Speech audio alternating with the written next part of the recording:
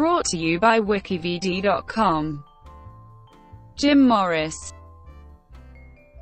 James Samuel Morris Jr. is an American former professional baseball player known for his brief Major League Baseball career. Morris was born in Brownwood, Texas, but spent most of his childhood moving to different cities as his father was in the Navy.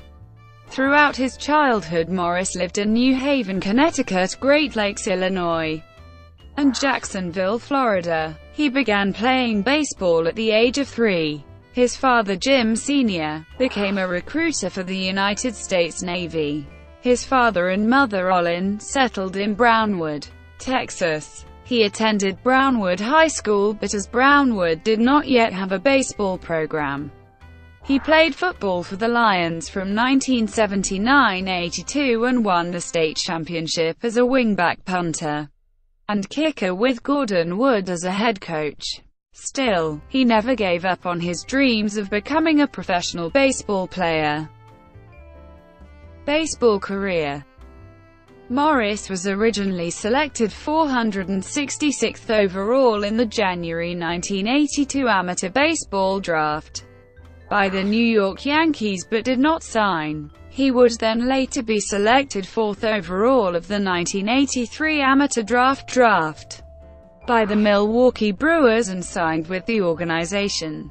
He suffered several arm injuries in the minor leagues and was released during the 1987 season, never having progressed past the single-A minor leagues. He signed with the Chicago White Sox organization for 1989 but was again unable to rise past the single-A leagues. Unable to make anything of his career Morris retired to become a high school physical science teacher and baseball coach at Reagan County High School in Big Lake, Texas with his wife Lori, his nine-year-old son, and his five- and one-year-old daughters.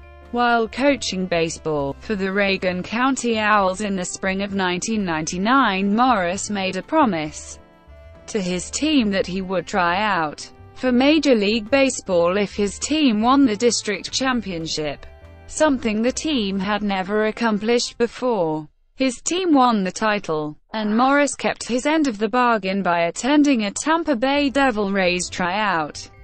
The scout wasn't interested in Morris but gave him a tryout solely to let Morris keep his promise to his players. Surprisingly Morris discovered that in spite of his age, and having several surgeries on his arm he was able to throw 12 consecutive 98 miles per hour fastballs.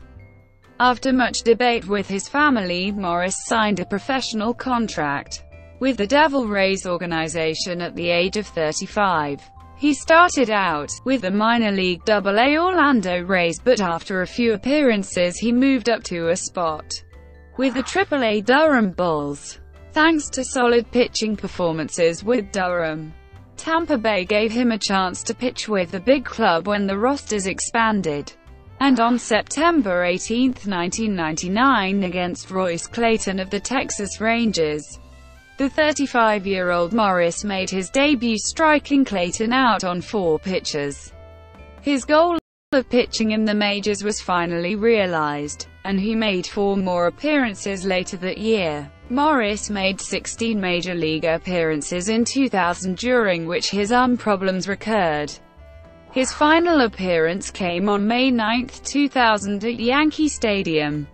He entered a tie game in the bottom of the 10th inning with the bases loaded and issued a game-ending bases-loaded walk to his first batter Paul O'Neill, after which the Rays released him.